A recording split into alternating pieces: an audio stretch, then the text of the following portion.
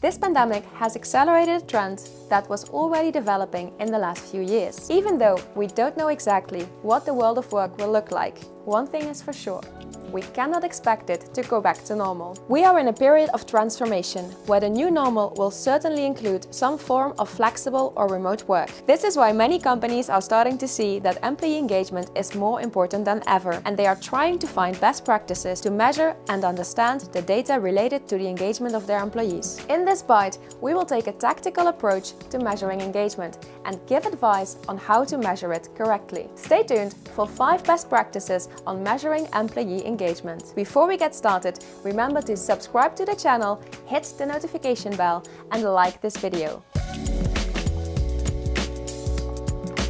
Hi and welcome back. My name is Nelly and this bite is all about employee engagement and how you can measure it correctly in your organization. So let's dive into this bite and start from number one. Make sure you're measuring the right thing. Employee engagement is typically measured through a survey.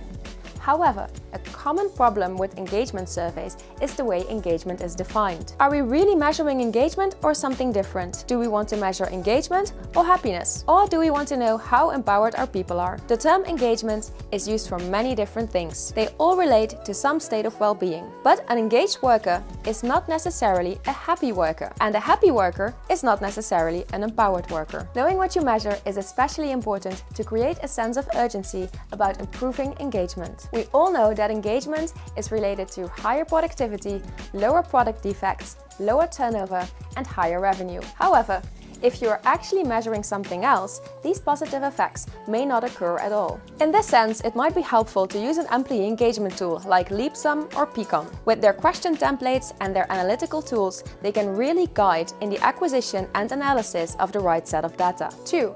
Use proven methods. Related to that, it is important to use proven methods that you can rely on. The two best known scales are the Utrecht Work Engagement and the Gallup. Both are very well tested. For both scales, higher scores are related to superior business outcomes. Other scales exist but are less tested.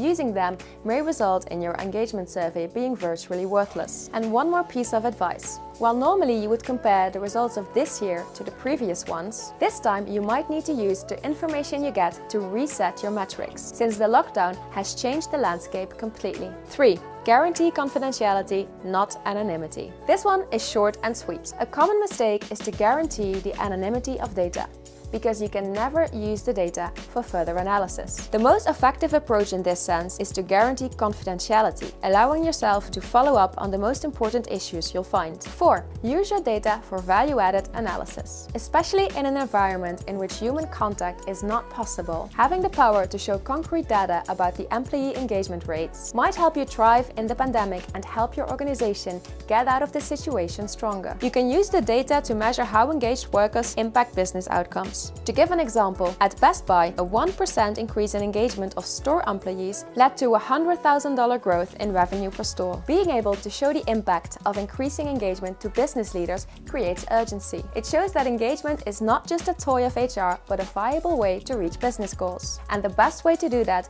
is showcase it in your own organization. 5. What's in it for the employee? Now, why would an employee want to fill in an engagement survey? Usually, it's not because they love filling in surveys.